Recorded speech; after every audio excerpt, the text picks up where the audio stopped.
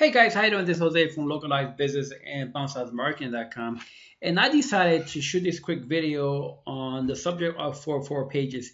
And I know some of you guys usually work on your pages. You may add some new products to your website, and down the road, may take them off. But here's the thing: when you take them off, it's going to create a 404 page. I'm sure you guys came across some of those pages where you go there and the page doesn't really exist anymore. And that's fine. Here's the thing, Google doesn't really penalize as far as SEO goes, but when you really look at it, what about customer experience? So if a customer click on a link that belongs to your website, and it's not there, how friendly would that be? And especially when Google always get a report back that there's a missing page. Now, of course, she won't penalize you for that, but let's look at the overall picture and let's see really if Google does penalize you or not here's the thing. I test on my own site you know and i use google analytics a lot and google webmaster tools. And although google say it doesn't really hurt your seo but here's the thing. It does hurt you in other areas. So there are two important pages. One is a 301 if the page doesn't no longer exist then you are going to have the 404 pages. Those are the ones that return back as page not found. Now it is a quick easy fix it is tedious sometimes, and I'm going to show you exactly what I'm doing so you can do yourself and save some money at the same time. Here's an easy fix. You can just simply go to Google Webmaster Tools. You will log in there and you're going to see multiple sites that you have, you may have one. All you have to do is click on it.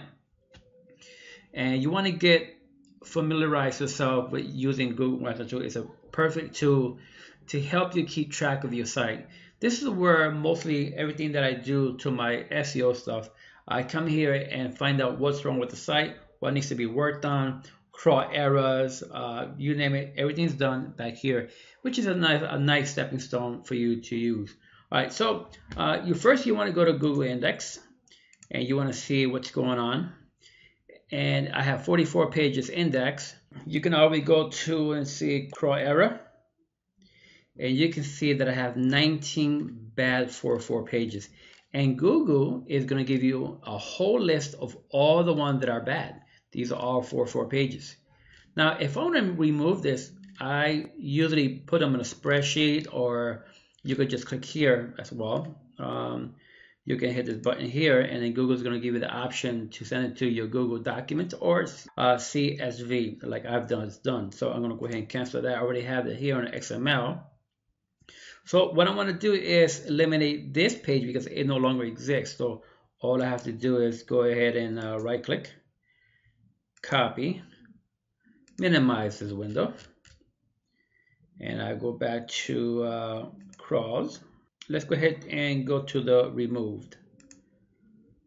Here we go. I already listed two already.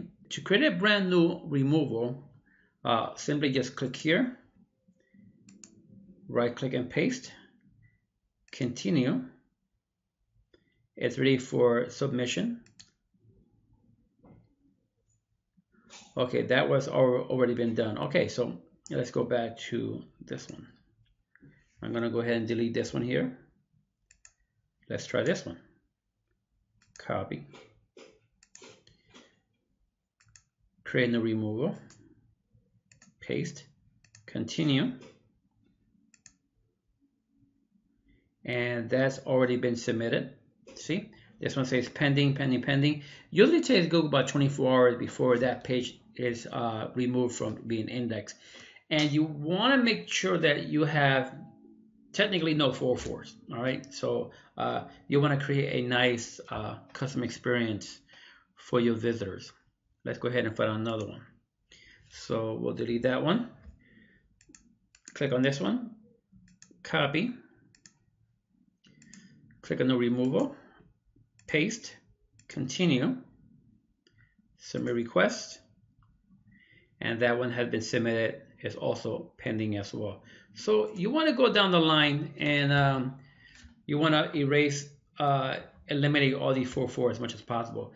You want to return a good website experience for your customers. Again, so if you are adding products to your pages or services and then down the road you decide to eliminate them, make sure to always go back to Webmaster Tools and let Google know because otherwise Google's gonna keep reading that 404 page. It's not good for Google and it's not good for customer experience.